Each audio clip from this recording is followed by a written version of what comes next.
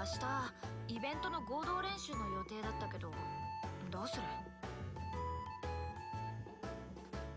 この状態で言っても正直また喧嘩しちゃいそうだよね。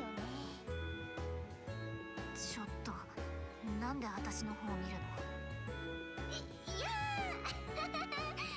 ー！別に何でもないよ。ひまりの言うことも一理あるせめて私たちなりの結論を出してから参加しないとな。とはいえすぐ結論が出るものでもないか。そうだよね。ともえさあやちゃんに明日は行けないって連絡しておいてもらえるかな。ああそうするよ。それとは別でラン。少しは反省しろよ。勝手に出て行った件に関してはランが悪いんだからな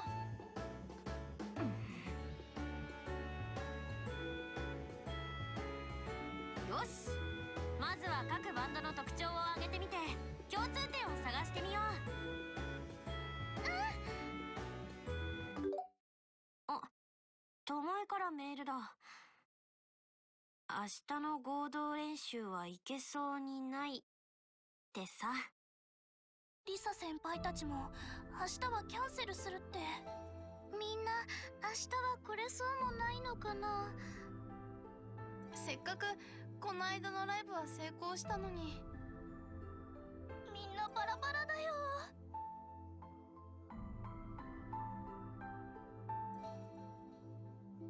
今日はみんなで合同練習の予定だったけどやっぱりうちら以外は誰も来ていないか。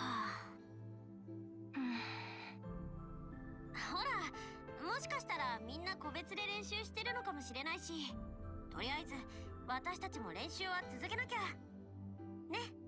そうだな。ここで私たちまで立ち止まったらそれこそやべえし。なあかすみ。うん。かすみちゃんなんだか調子悪そうだね。ちょっと休憩しよっかか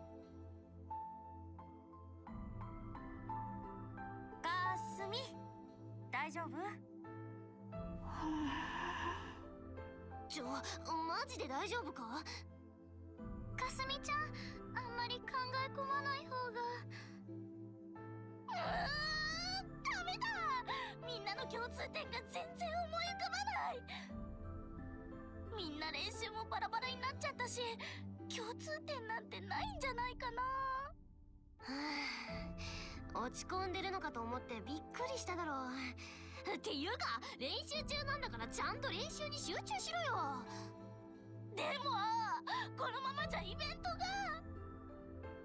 どのバンドも絶対妥協しなさそうだしな。妥協ってしないといけないのかな。マリナさんたちは共通点を見つけようって言ったけどそれはみんなの妥協点を見つけようってことじゃないと思う。初めてみんなで集まって演奏を聴いた日。あの会場でいろんな音楽が響いてて一つとして同じものがなくてすごく楽しかった。私はどのバンドの音楽も好き。芯があるからこそ好きなんだと思う。まあおたえの言ってることもわからんでもない。私たちだって何かを諦めろって言われたってそう簡単にはできないでしょ。うーん。みんなの良さがちゃんと出るライブにしたい。みんなのこだわりは消したくない。その分みんなの意見は合わない。堂々巡りしてるな。もうわかんないよ。私そもそも頭使うの苦手だし。あそうだなんかめっちゃ嫌な予感する。頭使うのやめた。はあ？だって考えても仕方ないんだもん。それなら行動するしかない。行動するって何をするの？えー、っとね。えっとそれはつまりまあそんなことだろうと思ったよ。でもかすみらしいいい答えだと思うよ。えでしょ？つまりそのあれですよあれ。演奏？そそうそう演奏してみよう。え演奏するの？うん。もう一度演奏しよう。みんなの音楽を聴いた時の気持ち思い出そう。そっか。みんなの演奏を聞いた日どうやってみんなをスタジオまで連れてくる？こうなったらもう手段は一つ。強制連行だよ。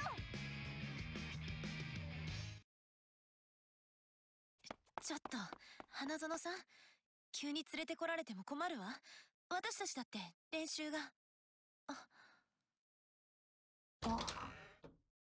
ごめんなさい。この後仕事があるから。あら？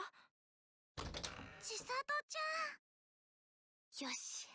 なんとか全員集まったか。強制連行ってつまりそういうことね。そういうことです。ああの皆さん突然すみません。集まってもらったりして。集まったっていうか無理やり連れてこられたんだ。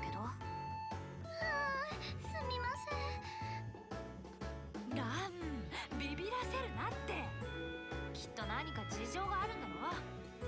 話してみてくれないか？皆さん楽器を持ってきてくれましたよね？もう一度演奏してみましょう！どういうこと？まあまあ一曲ずつでいいんでお願いします。でもかすみちゃんきっと何か理由があるんでしょ？いいじゃん演奏してみようよ。分かったわ。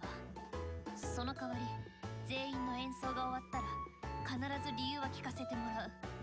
もちろんです。リサ先輩ありがとうございます。早速演奏